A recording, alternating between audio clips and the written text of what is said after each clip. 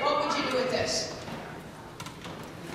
You clean your hair. Some shampoo. So, yeah, you clean, or you can clean yourself. Okay. How about this? What would we clean with this? We clean some what? Some dishes, that's right. We clean some dishes with that. Okay, what might we clean with this?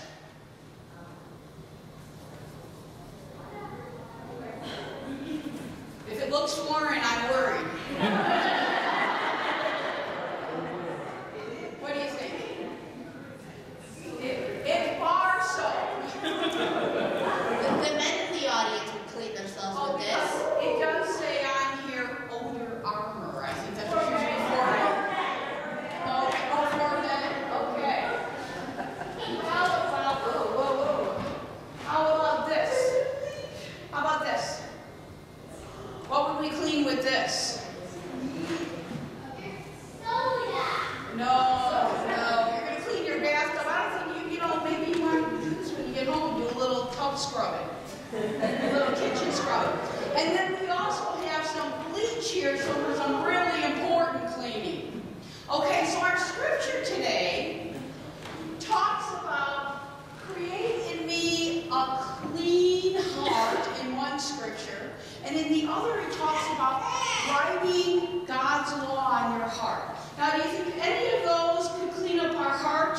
Which of those do you think we might use to create a clean heart? Would we use some, maybe some bleach, some shampoo? I, I think you might be right there.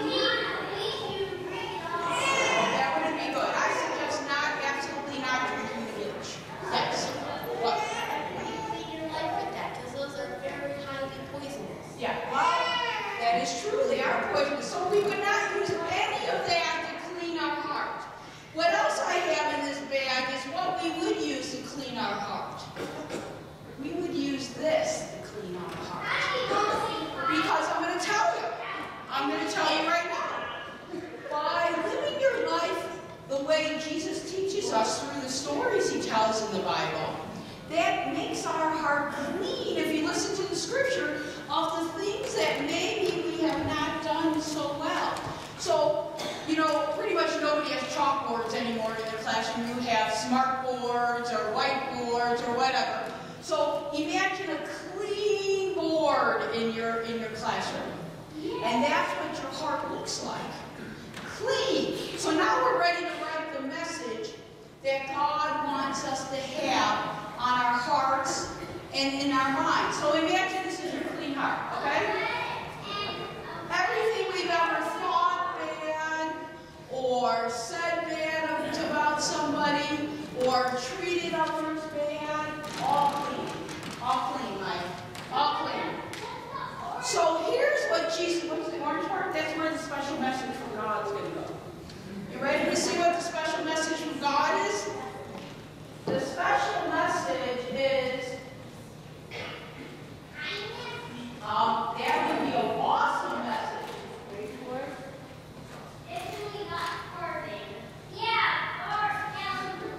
No, it wouldn't be hurting, that's right. The special message is, I know you and you know me.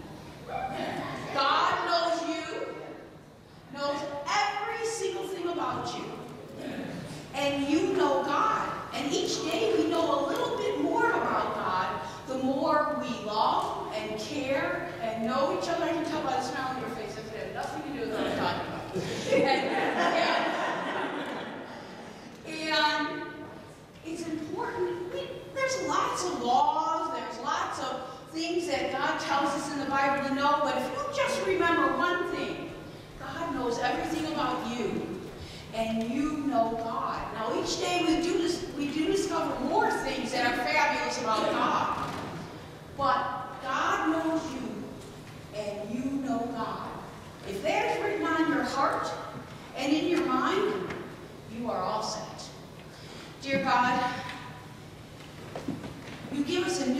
bright and shiny chance each day as we wake up.